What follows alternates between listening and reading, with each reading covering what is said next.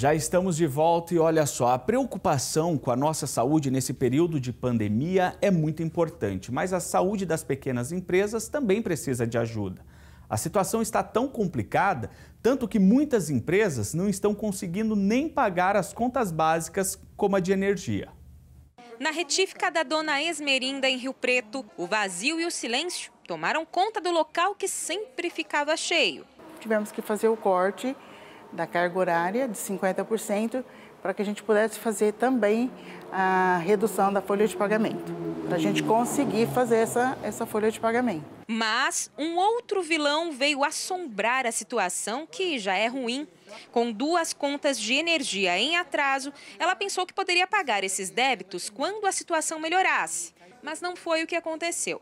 Como não teve negociação, quase ficou sem energia para fazer o pouco serviço que ainda recebe na empresa. E a gente achou que, que as empresas também teriam essa medida de poder é, acho que dois ou três meses, né? E não ter o corte. Mas eles disseram que não. Aí a gente correu para arrumar o dinheiro e fazer o pagamento de um. Isso foi numa quarta-feira, na sexta-feira eles vieram para cortar de novo, porque estava com o outro talão também vencido. As pequenas empresas estão sofrendo com as restrições e, consequentemente, a queda nas vendas.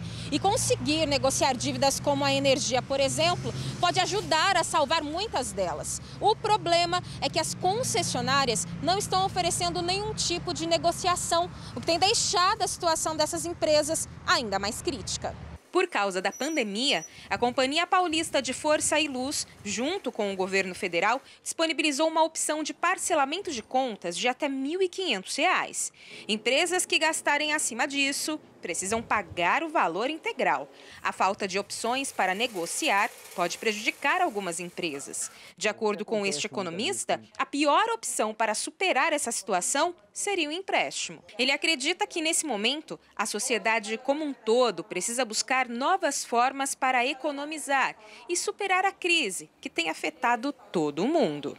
Abrir janelas, manter a iluminação do dia então são atitudes que ele precisa tomar e que às vezes vai protelando, vai protelando no momento que não está em crise e fica tudo certo. Vai, vai se adaptando, né? Mesma coisa para consumo como água ou telefone, tem que se reinventar. Tem que apertar o cinto, não tem jeito, né? O consumo tem que diminuir. Se a minha venda diminui, o consumo do meu cliente está diminuindo, eu, por consequência, tenho que partir para isso também.